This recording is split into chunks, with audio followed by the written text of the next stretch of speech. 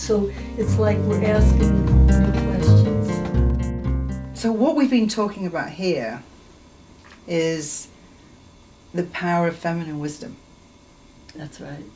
to be present in us and for us to have the courage to express that in business, which has inherently been, not inherently, but it's been, uh, you know, business structures of the last two or three hundred years at least have At been least.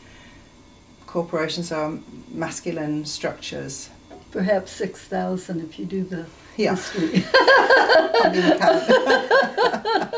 you can cut that if you well, modern to. day, but modern day business that we can see, Yes, you know, yes, uh, exactly. without going back through Yes. history, um, and we've tried to fit into that. We that's business, and women try and fit in, and it's not easy to fit in. I mean, the more I travel, the more women I meet, the more I finding women who are kind of spat out by the corporate system and finding themselves outside the system. But we've all been trained in business in a, in a masculine way, and to um, and to really be authentic to ourselves, we have to show up in enterprise and business in a feminine way. But where are the role models for that?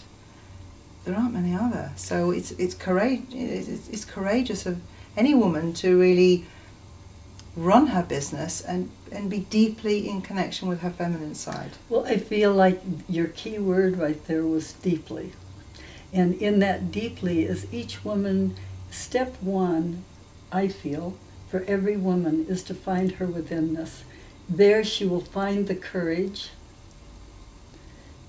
she will find the power. Women are so busy looking externally for empowerment and for um, encouragement.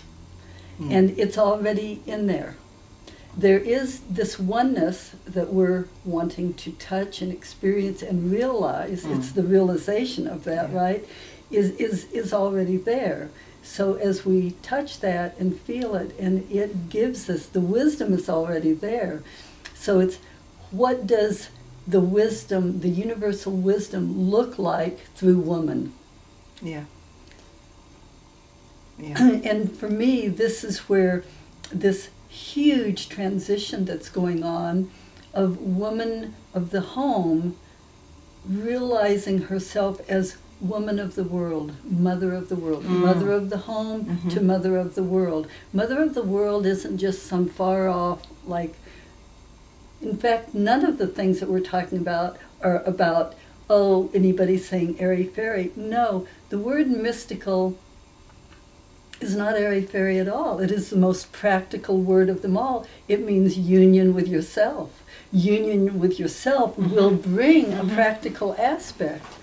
And that's exciting. And the women like have to like find this and then they probably won't start trusting it unless they are touch it deep enough and are willing to act on it like you were so beautifully talking about it. It's got to be acted upon. I think it's it's having the courage to have it validated by yourself. But it's easy to do that with other women, don't you think? Yes, If- if- when we discuss it yes, with other women, we, yes. we can see ourselves in each yes, other, Yes. sharing our stories, and then we're empowering yes. each other by having these conversations rather than having it validated by an external patriarchal source. It, it, it's because we tend to go out, you know, seeking approval. It- it- the It's beautiful because that. it's what you were talking when we were talking earlier about the Occupy movement Yeah. and that it needs to take another form. Yeah. I feel like you've just touched on this whole piece with the women. Okay, we've been doing um, uh, potlucks forever and getting together for coffee and tea. It, women have. Okay, it was all they were given space for, really. Right. Okay, so it's like women are in touch with the inner spaciousness. Th- So now that inner spaciousness must be reflected out in the world. What is it going to look like? I really feel like that the women will lead the way.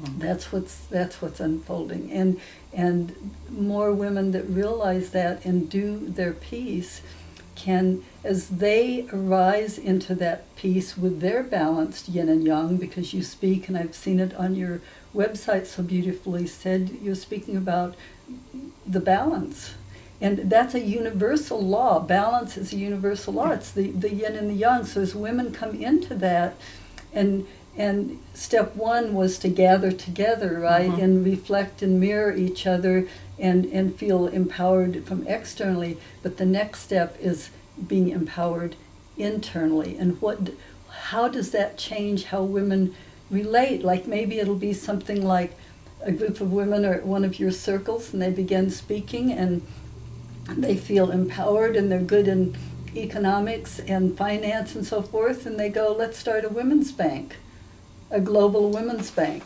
How's that for an idea? You actually brought that up the other night, and so I would like to just bring it up again. You like that? thank, thank you for bringing it up the other night. Mm. Yeah, the Women's Bank. The, the Women's Bank, Yeah, Mother of the World Bank. yeah, you know, yeah.